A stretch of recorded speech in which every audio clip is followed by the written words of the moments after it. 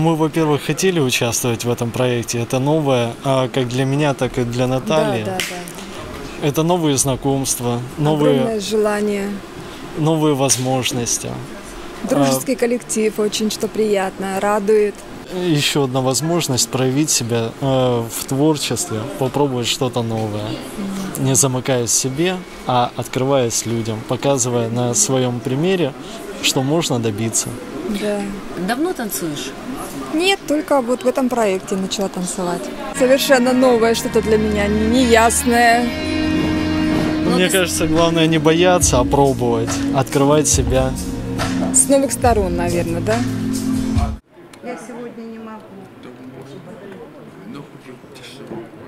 Он говорит, можно всех соединить с помощью, вот, например, да, он слабослышащий и соединить с говорящим. Он сможет понять, но ему будет это трудно. Но если вместе будут они петь, это можно как-то соединить. Потому что они будут знакомиться с друг другом, будут ближе понимать и смысла будет понимать больше.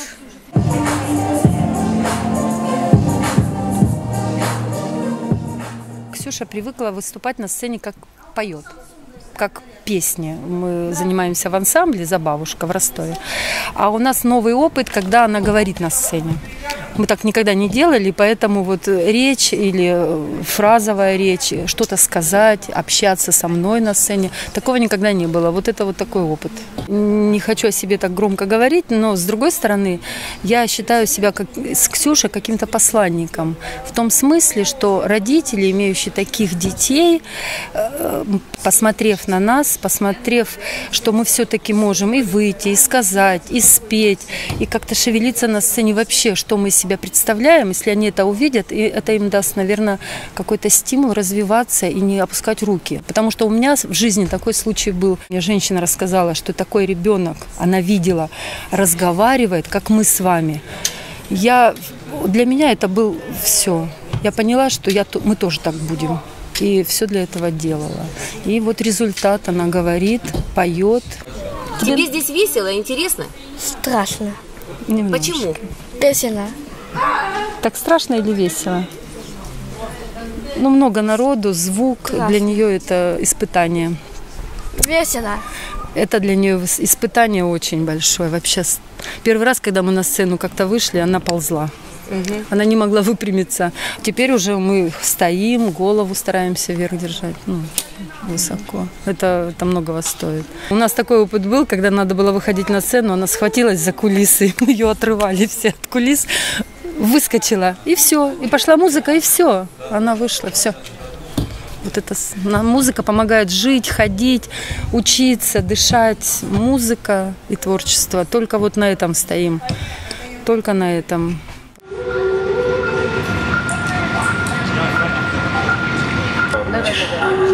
Черная дыра. Ну это не космос. У каждого человека, имеющего инвалидность, какая-то есть своя специфика и общения, и дружбы, и сотрудничества. И они знакомятся и ищут какие-то точки соприкосновения. Они учатся лучше понимать друг друга, а, лучше узнавать и дружить. Это самое главное. Этот проект помогает дружить. Ведь, к сожалению, человек настолько зашоренный в своем восприятии мира, что он не понимает, что вот все, что окружает, это и есть счастье. В том, что солнышко светит, птички поют, что мы и, э, умеем сопереживать, сочувствовать, радоваться жизни, видеть эту жизнь, слышать эту жизнь и можем э, какие-то воспроизводить художественные образы своей голове благодаря тому, что мы имеем социальный опыт. Многие ребята этого проекта этого социального опыта не имеют ввиду диагностических особенностей. Именно поэтому вот эти люди должны уйти просветленные. И что-то должно все равно щелкнуть внутри, в душе. Но я на это надеюсь, по крайней мере. Всегда каждый проект, который вот мы э, совместно с кем-то делаем или участвуем, он нацелен не на нас даже, на наше э, как- как- какое-то вот э, развитие, а, наверное, все-таки для врачевания общества. Общество социально больно пока. Думаю, что исправится этот вопрос в лучшую сторону. У них жизнь прекраснее, чем у таких людей, как у нас. Потому что для них каждый шаг, для них каждый вздох – это уже радость. Вот и все. Ну, в 11 школе я волонтер. Тоже мы ездим, помогаем. И животным помогаем тоже. И ездим к, в дом инвалидов. Вот. Интересно работать с такими. Там и дети, и как-то нравится мне это. Чтобы наши обычные ну, здоровые, так сказать, сограждане привыкали э, к таким людям в разных городах и в разных социальных условиях.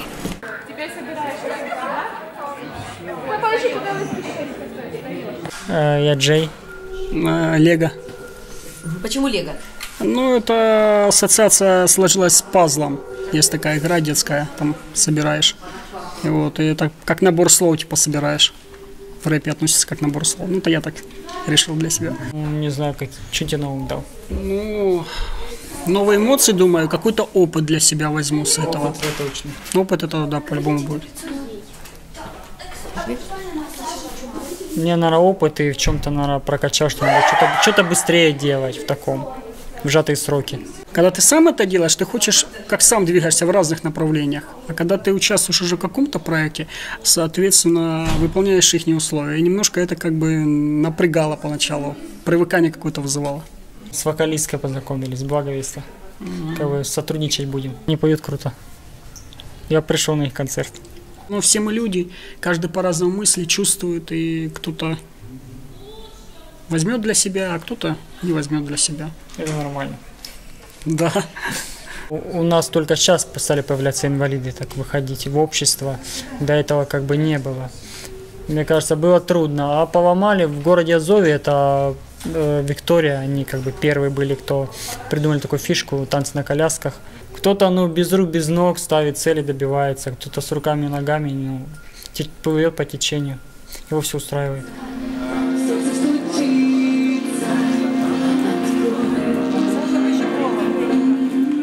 В каждом человеке, кто бы ты ни был, работник, уборщик, э, строитель, каменщик, и, э, у тебя есть творчество. То есть нет ни одного человека на планете, который не имеет частичку творчества.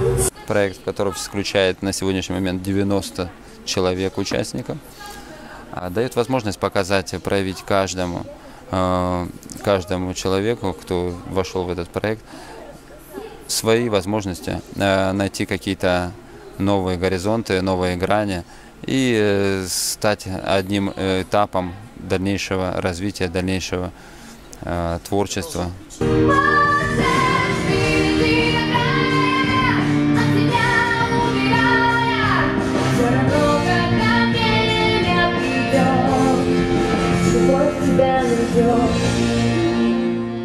И плачете? Нет.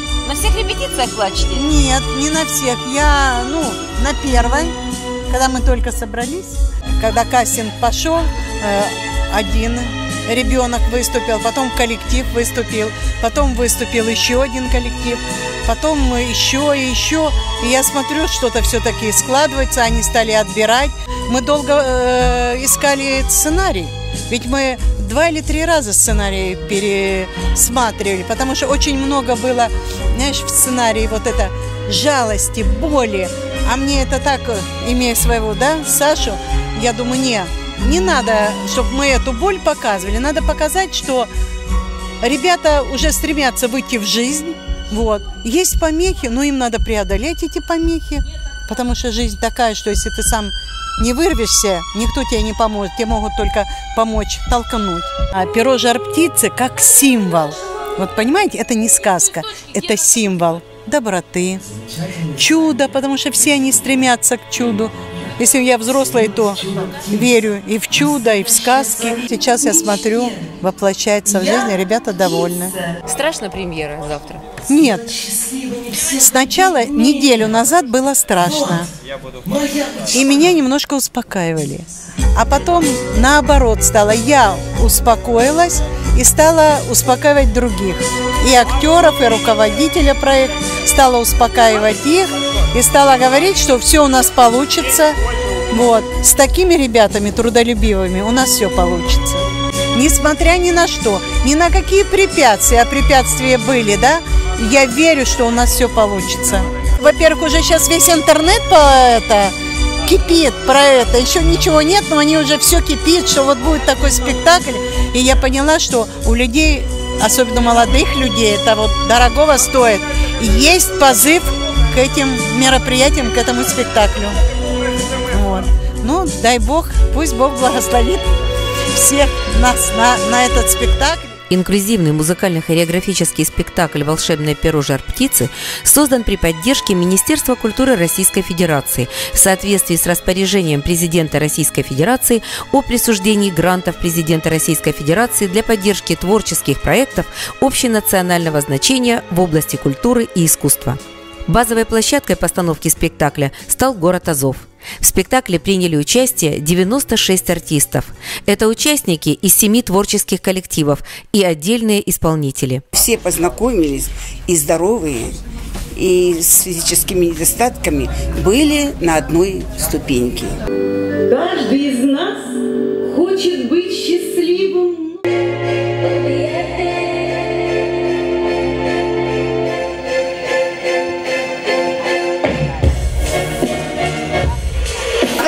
тем, кто вообще эту задумку придумал, потому что люди могут себя проявить и показать всем, какие они талантливые. Ну, я рада. Я рада, что команда была слаженная. Ребята сами отдались вот на последнем дыхании.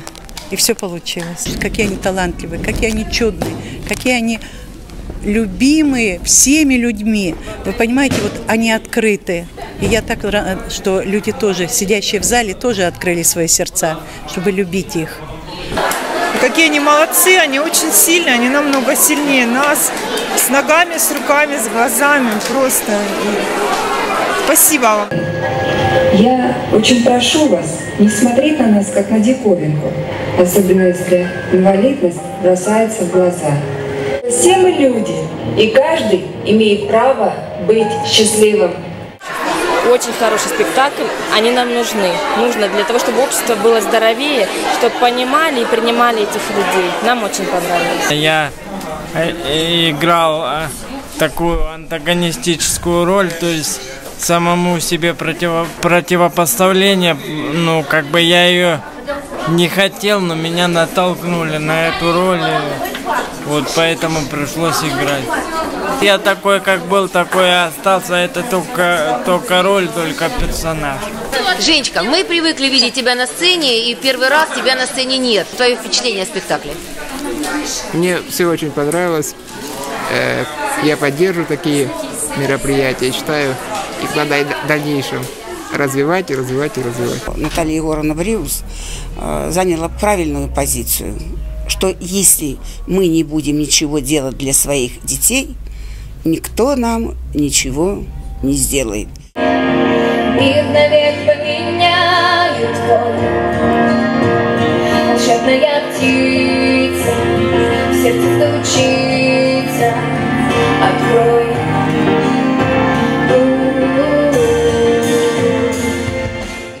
это мероприятие, оно раскрыло для людей, что такое настоящее счастье. Э, Счастье – это участие в жизни другого человека. Мы вдвоем Вокруг солнца на земле День за днем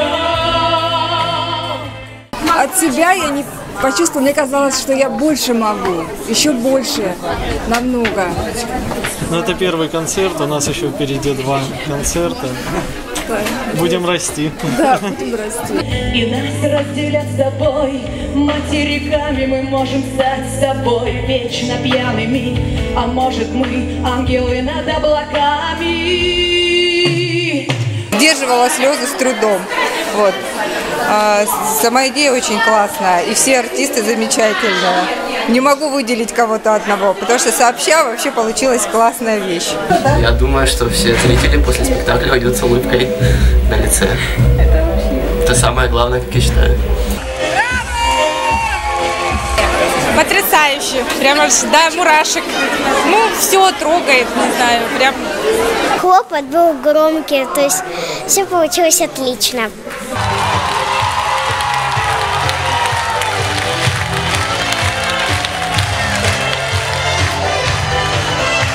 Такая премьера замечательная. Наши дети самые лучшие, самые красивые, самые славные. И вообще, я вас всех люблю, люблю наших детей. Руководитель проекта Дмитрий Чернавский, режиссер Федор Неретя, ассистент режиссера Алексей Панкратов. Премьера спектакля состоялась в городе Азове 22 сентября 2017 года. Затем спектакль увидели зрители Таганрога и Батайска. Всего более тысячи человек. Да, были какие-то шероховатости, но основа, это, конечно же, вот те люди, которые выходили на эту сцену, они были наполнены. У меня виды, виды, виды видавшего у меня мурашки просто по, по, по коже шли. Я все время э, аплодировал, все время кричал «Браво!». Я просто не выдержал этого. И видели сами, что на поклоне выскочил и обнимать ребяток начал, потому что это невероятно круто. Это три месяца, получается, такой работы рутинной, чтобы это все получилось. И оно казалось вроде бы легко, но на самом деле это совсем нелегко было. Я никуда не пойду. Почему?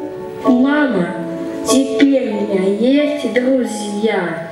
Я их буду ждать. Три-четыре. Я так счастлив, что у меня опять появилось много новых друзей. Отлично. Ксюш, ну как, тебе ты переборола страх? Не было страшно сейчас? Нет, не было страшно. Весело? Да. Я тоже так счастлива, что у меня появилось много новых друзей. Спасибо большое проекту за то, что я с молодежью общалась. Я прям помолодела лет на 10. Я так благодарна, что меня взяли. Я вообще не знала. Не знаю, как это так действует очень хорошо.